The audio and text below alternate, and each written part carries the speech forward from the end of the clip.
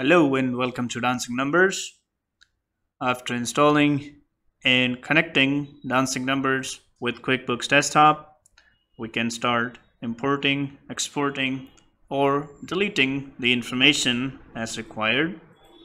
To export any of the list or the transactions, we can click on Start and from the QuickBooks export type from the drop down list we can choose any of the list or the transaction type to be exported.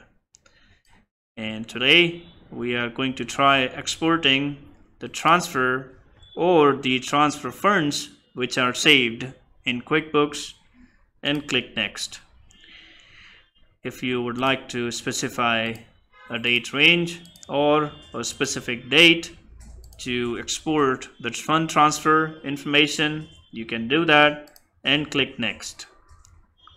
Here on this screen you can choose the fields that you would like to export and click OK and click next again.